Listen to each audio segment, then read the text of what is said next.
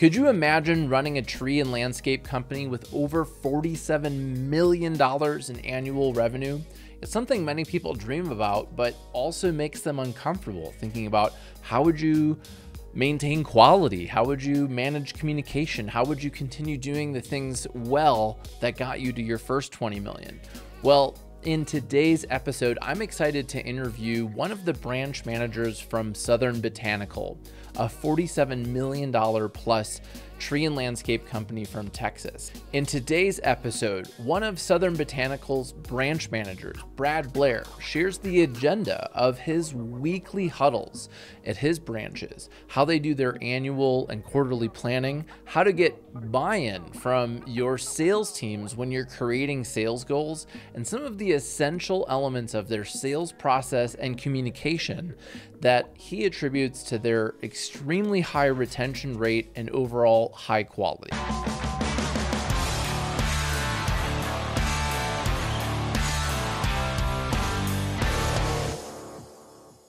Hey, it's Jack Jostes, and welcome to the Landscaper's Guide, where we share inspiring stories about sales, marketing, and leadership in the snow and landscape industry. Today, I'm super excited to interview Southern Botanical. And if you haven't already, make sure you subscribe to our podcast at landscapersguide.com slash podcast so you never miss an episode. All right, everyone, welcome back to the Landscaper's Guide. Today, I'm excited to interview Brad Blair. He's one of the branch managers at Southern Botanical, which is a landscape maintenance and tree care company in Texas that does over $47 million in revenue with uh, 350 employees. They've been in business for 28 years. And Brad, uh, tell us a little bit about yourself and what else should we know about Southern Botanical? Hey, Jack. Uh, happy to, to be chatting here with you today. Um, you know, as far as uh, me, I feel like I'm a pretty simple guy. Um, I, am a father, I'm a husband, um, and you know, just a really loyal guy here at Southern Botanical. Um, I got my degree in Texas A&M uh, in economics, and I was led uh, on a weird path. I feel like a lot of people to the green industry, uh, and just couldn't be happier to to be here. Uh, I'm a branch manager uh, with actually our tree care division here at Southern Botanical. Um, we're here in Dallas, Texas. We cover all of the North Texas market, um, and we focus in residential and uh, commercial landscape management. We do large installation, design build, and tree care. Uh, most of our clientele is typically your your clients who are proud of their landscape, who who want that attention to detail and that that high touch uh, communication uh, as well. Well, th- yeah, thanks for coming on. And you know, so Southern Botanical has 12 salespeople total, right?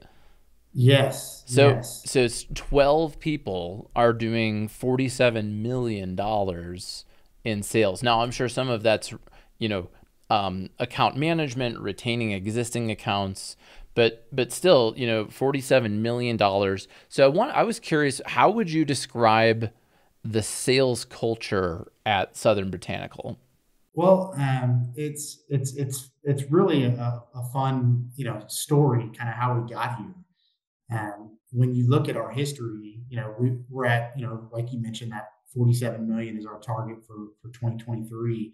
But if you go back just uh, you know five six years ago, we were running sort of stagnant around that 25 million dollar mark, and we really had not invested a ton of uh, energy or resources into sales or marketing.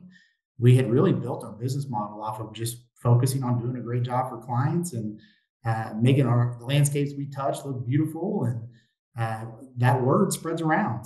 Uh, but at some point, you're you're gonna hit that uh, that wall. You know, um, when, when I think about that transformation of when we when we really had we made the decision of hey, we want to continue to grow uh, we we started to look at okay, where are we willing to to invest resources at? And you know, I think like most people, when you're when you're at that dilemma, people often think about okay, do we where does this start? Does this start at the top of the the food chain, or is this with our front line? And I, the answer is both. Um, you got to really kind of take a multi pronged approach uh, that has been really successful for us. Um, when I think about the executive level, um, we made a, a choice to be a little bit more particular about how we hire, train, and develop our sales our sales teams.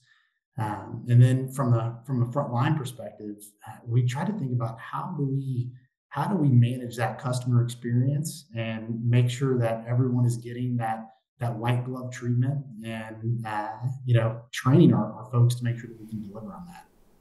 Well, and what are some of the ways that you're able to do that? Because when you're doing, you know, $47 million in revenue, right? You've got all these different customers, you've got all these different people who are communicating with them. What are what are some of maybe the key elements of the process that you make sure happen with each customer with the sales process? So that way they do have that white glove experience and, and, while also not being oversold, right? I think that's a risk when you're growing and growing too fast is salespeople promising one thing and then that's not being delivered, and then the reputation that you know got you to 25 million can be tarnished. So what what are some of the things that like everyone who does sales there has to do? What are some of the maybe the milestones along that sales process? Yeah, yeah, um, man, you're you're spot on there. I mean, another thing that makes it challenging for us is we we deal with a lot of different types of clientele. You know you have your your commercial clients who uh, you know as long as you're doing what you're supposed to be doing and delivering on that it's more of a business transaction. And then on the residential side there's a lot of emotion involved in that right? So uh, you're you have to tailor your your your process to those different types of clientele um, you know and then you think about what are the services you're selling um, our goal as a company is to grow our recurring revenue right? And so when you talk about that big $47 billion, right? A lot of that is is money that is revenue that we get every year if we continue to keep those clients happy, right? So that's the account management piece of it. And, and so when I think about sales, um, it's not just those business developers that have a hand in this. It's it's literally everyone from those business developers, you know, how we how we sell that you know that customer experience and, and what we what we tell them is going to happen we got to make sure that we're delivering on that at the same time. You know you've probably dealt with companies and seen this where you can sell sell sell but if you don't have the the staff to produce the work that you're selling or if you don't have the equipment or the trucks um, all of that has to has to align so i think you kind of have to scale back and look at your infrastructure and see you know, are we able to support the sales that we're that we're looking to go for?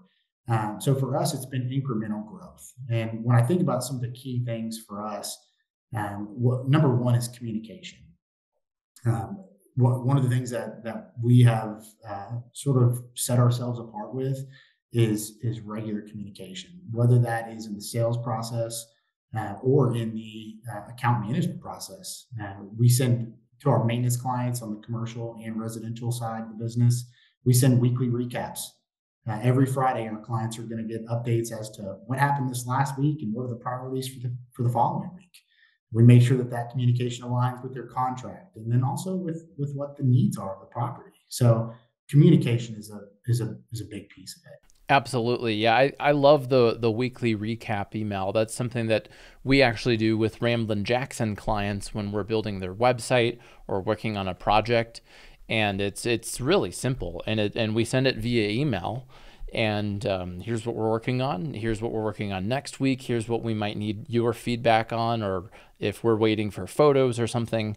And that I think is really important, especially in construction projects or design build projects that have a long time, right? Maybe you're in sales and your people are getting excited and now they're waiting for construction could be in some cases months. So so tell me about talk to me about like that and I think that's an area where many landscape companies or businesses in general if there is a gap between the sale and the actual building of something, are are your clients getting that weekly recap even during that time? Yes, yeah, and and I, I what I'd say is most key about that that communication is consistency and transparency. Uh, it, you know, when those customers get used to seeing those Friday recaps, and you know, when I when I mentioned transparency, you got to be honest with where the status of the project is, because that way you're you're managing those expectations along the way. Um, with uh, Southern Botanical clients, do they change points of contact? So does it go from like a business developer to maybe a project manager and then do an account manager? Kind of what's the what's the relationship like from potential client to build to this recurring revenue stage? Yeah, um, it, it depends on the, the service line. When I look at mm-hmm. like, let's give for instance, design build or mm-hmm. or tree care.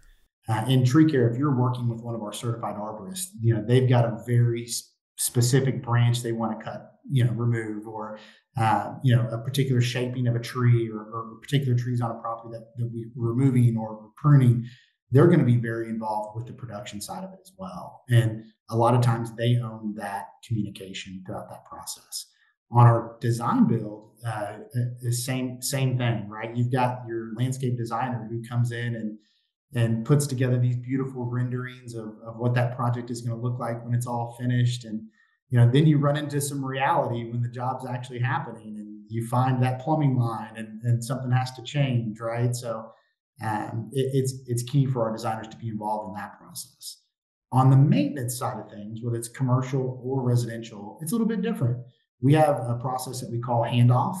And when the business developer sells a property and you know brings that client on as one of our partners, we then bring all of our key support members. Um, every one of our properties that we maintain are going to have an assigned account manager and that account manager has a support team as well. So whether it's for agronomy, tree care, irrigation, uh, or enhancements, we we bring literally all of those players to the table, and we do a site walkthrough on properties before we ever actually start the maintenance. Are is everyone using the same CRM or the same software? Because I know that sometimes when when you've got multiple divisions from tree care to maintenance to design, build, and construction they all sometimes have their own tools or they might need their own software. What software are you using or what are what are some of the things that you put in there so that way the communication between those three departments is is clear? That's a that's a great question and man couldn't be more timely for us. Um, in January 1, we actually went live with Aspire. I'm not sure if you're familiar with Aspire. Absolutely. Um, previously we we were using tons of excel spreadsheets and different right. softwares for uh-huh. different branches and uh, that was a challenge for us for sure mm-hmm. um, aspire has actually been really awesome as a, as a partner and, and support team uh, mm-hmm. to help from an implementation standpoint but you know with any new software there's going to be their hiccups um, we, we kind of feel like we're, we're starting to get into that smooth sailing stage which is nice as we're you know coming into mm-hmm. spring so, so all three departments are using Aspire.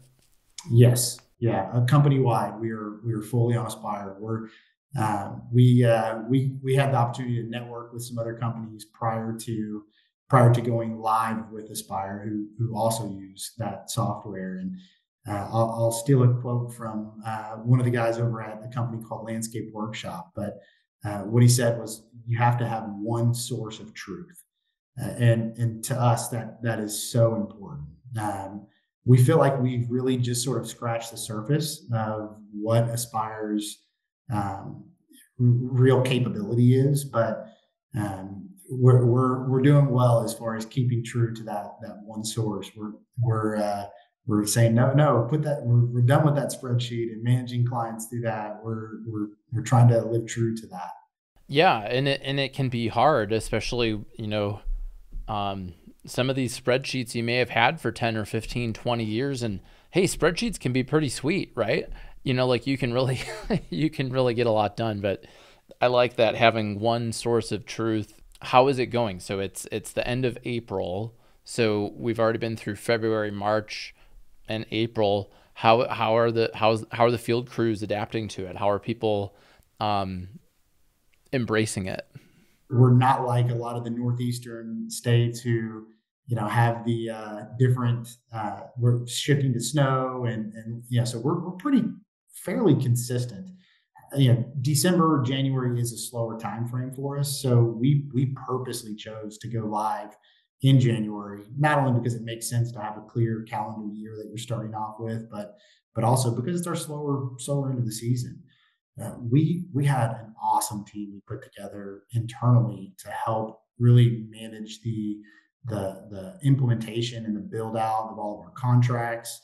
Um, we spread this responsibility across several users within the company. So when we went live, we had a lot of people who were already really familiar with it.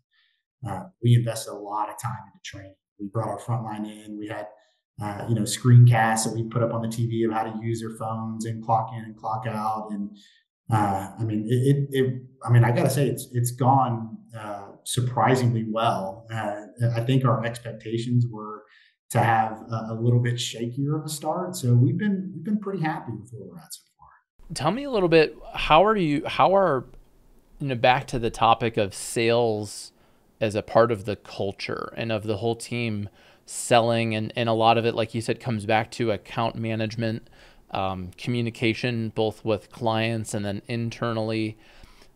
Um, and that that creates the result of doing a good job and high client retention to build that recurring revenue. How are you setting sales goals as a company? And you know communicating them and and really getting buy-in from other people so they so it's not just something that you know Brad made up and he thinks it's a goal. How are you really how is it becoming part of the the culture there? How do you how do you get people involved with your sales goals? I think one of the key factors here is getting your team's buy-in. Um, so when we're making our, we're putting together our sales goals and our growth plans, we're talking with our, our business development team. We're talking with our, our, our operations managers who handle the account management team. And we're we're really trying to see, okay, what can we bring on this next year? How many people can we hire with our recruiting staff? You know, uh, how many trucks will we need to buy? So uh, we we have a five year plan that we put together, and, and it's a lengthy process to to put that five year plan together. And you know that that plan, we look at that as like you know if you're taking a if you're taking a long distance trip across the country and you, when, you press go on your GPS, it's going to give you a route. However, you're, you're going to hit delays, you're going to have wrecks, and you're going to have flat tires, and you got to make turns and you have to to right the ship in, a, in the right direction to, to stay on path. And so we we rely heavily on our teams to help us pull together what those sales plans are. And then I think that the next piece that you, you mentioned on accountability, um, I, I, would I would I think it's really important that you have uh, transparency around goals and, and kind of where you're at as well. So in our office, we have several different places across the, the our, our interior of the office where we have our goals listed and we have these little dials on them, these thermometers that show where we're at year to date, where we're at, uh, you know, with, with our recurring revenue goal sale or sales goals and our annual revenue goals. So having, you know, talking with your teams about where you stand is, is really important. I, I agree. We, we have a, what we call our scorecard and it is, a robust Google spreadsheet, but we review it every every Tuesday at our company meeting, and it includes things like leads generated, um, little parts of the sales process, uh, revenue, upsells, retention rate, and I have found that being open with that and sharing it with people, one, it, it you know, if it's looked at quarterly or annually, like people forget about it, but if it's every week, we can see where we're at and then also when things are way off track, it's less of like a big announcement of more of like, hey, we saw this coming, we see this coming. Talk to me about, you know, what I'm hearing you say is, you know, sometimes we set these goals and then we're going down the road and we get a flat tire or whatever.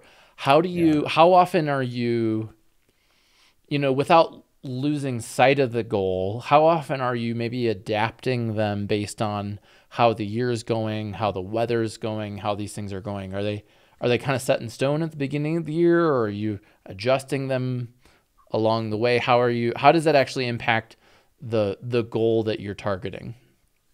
Yeah, so I, I would answer that two different ways. I would answer from a company standpoint, and then from a branch perspective.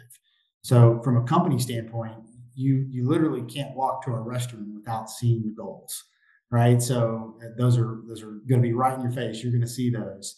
Um, we do quarterly town halls where we update our teams on where we literally bring in all management and salaried staff in the company, and we sit on our grandstand area that we have in the, the middle of our office, and we talk about, you know, hey, where do we stand with our financial goals and, and, our growth goals and what are what are our biggest priorities and, and what are our biggest challenges, right? And so that's from a company standpoint.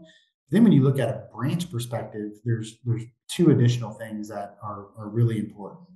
Um, one is going to be our weekly huddles that we host with our entire team, not just the business developers, but but the entire you know production and sales staff. And in there, we're talking about uh, hey, where do, where do we sit? You know, and we're looking at things on a weekly basis. You know, from a, from like production, what are our production goals for this week, and how are we pacing towards that? And then how does that align with our monthly goals? Uh, if if we're doing great, well, how do we continue to smash those goals? And if we're we're doing bad, we got to determine, hey, what levers do we need to pull to to get to get the ship back on track?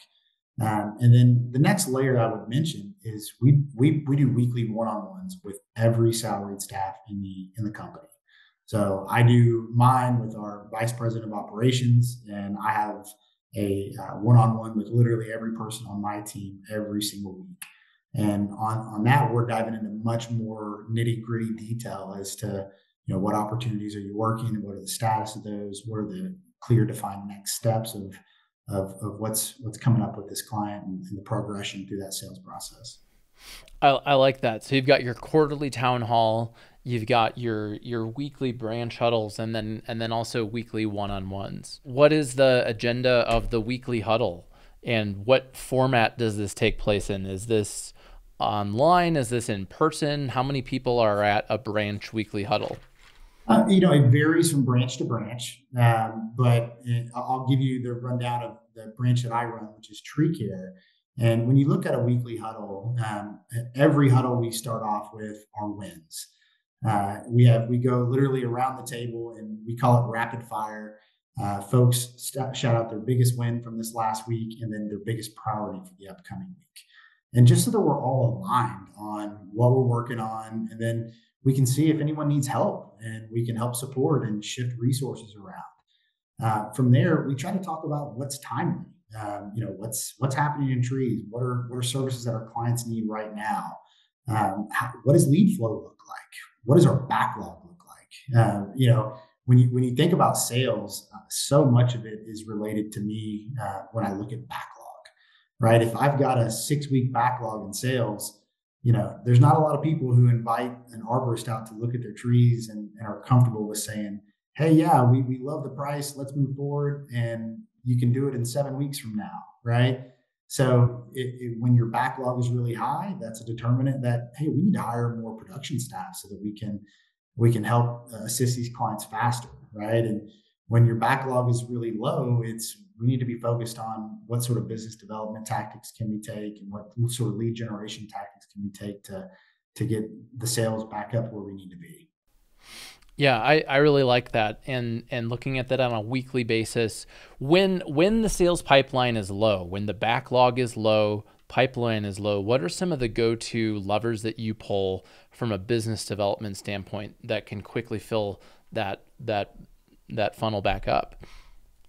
Well, uh, when you're when you've been in business as long as we have, I think one of the fortunate things that, that you have is just a database, right? So utilizing things like uh, you know, there's a lot of different uh, softwares you can use to whether it's constant contact or things of that nature where you can you can send out mass communications to clients right so that's that's one sort of easy button uh, it, it's not always as fruitful as you as you'd hope uh, but then you know you've got clients that you know, when we look at tree pruning, you typically don't need to prune a tree, but every two to three years. So we can look back and we can say, you know, three years ago, what clients did we work with? Send them a reminder email, see if we could stop by, take a look at it.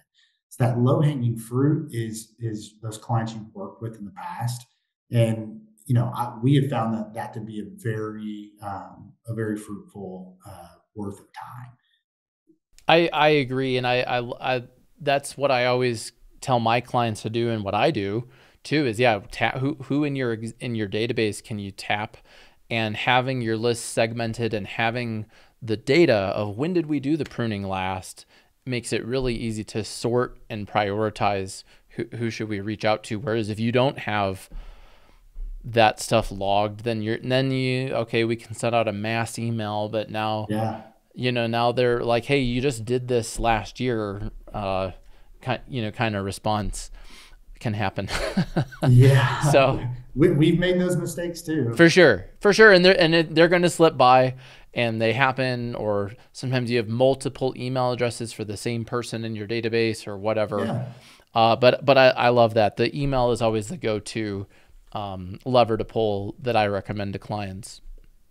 Another approach that we take is is something I learned back in my days with some of the big box stores is what we call a blitz, a market blitz, where we literally bring together every business developer. We find a demographic that we're going after, mostly on the commercial side, uh, in the commercial sector, and we go and we target whether it's golf courses, nursing homes, you know, uh, you know, higher end HOAs, and we literally in one day go and blitz as many people as we can, and just put a heavy focus on business development, true business development, right? Where boots on the ground, knocking on doors, and you know, look, it's it's not as uh, effective, but one thing it does is it drives a sense of urgency with your with your business development team when when they see that hey, we're putting forth the resources for a full day or two days to to go forward and and and drum up some some uh, conversations. I, I, feel like it shifts the energy a little bit and, and aligns people on where our focus needs to be. Brad, um, I appreciate you coming on the show and sharing so much about all the things that are working. And I know that it it took time and growth and hard times to figure these things sure. out, but you shared a lot of nuggets for people. So, uh, Brad Blair, branch manager from Southern Botanical. Thanks for coming on the show. Where can people uh, network with you if they want to have follow up uh, questions or conversations with you? Uh, LinkedIn would be the best best place to find me. Um, Brad Blair with Southern Botanical. Uh, you can follow Southern Botanical on Instagram or LinkedIn as well. We, we try to keep our post up to date and and showcase some of the cool properties we get the opportunity to to partner with. Well, very good. Well, uh, I'll put that information in the show notes. And thanks again for coming on the Landscaper's Guide. All right, thanks so much, Brad and Southern Botanical, for reaching out to be a guest on the show. It was really interesting to finally talk with you all here. And who else should I be talking to next? If you want to be a guest on the Landscaper's Guide, or if you know someone who should be, um, send me a direct message on Instagram at Jack Jostes or fill out the form at landscapersguide.com slash contact where you can submit your story ideas. I'm always looking for interesting people. My name's Jack Jostes. I hope you enjoyed today's episode of The Landscaper's Guide, and I look forward to talking with you next week.